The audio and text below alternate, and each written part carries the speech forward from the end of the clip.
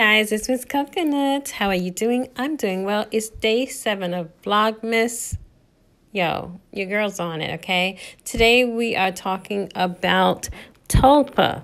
Not tacos, not tapas.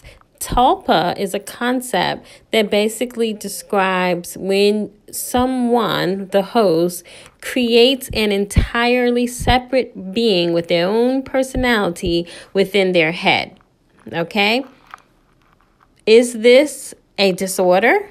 Good question. Technically, tulpas is a Tibetan word that means emanation or apparition or magical illusion because it refers to the practice of being able to generate through your thought, right? Just through using your mind science an entirely autonomous being that eventually that you you kind of give life to, okay? So it's sort of like the golem in that aspect. You give life to it through your thought, where the golem was, you know, you had to inscribe and do the magical word and do the breath, but same difference basically.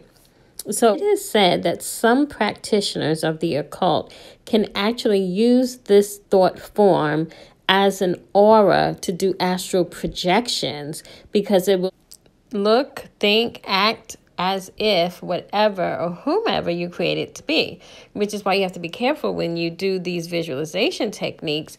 You don't want it to take on the persona of something that is threatening or someone that is threatening or a character that is threatening. Has been noted that an imaginary friend could seem like a form of a tulpas except the difference is the imaginary friends generally you can control them.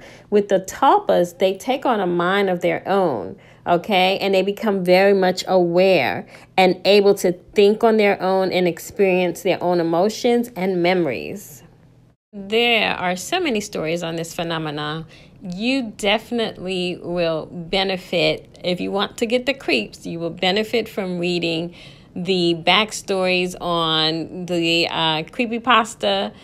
And sometimes Reddit will have this as well. Those stories are really good because in a lot of those stories, this being takes over and becomes evil. So, you know, plot twist.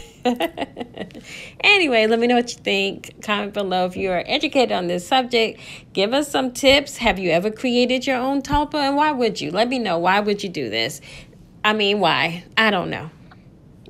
Anyway, Om Shri Prezi.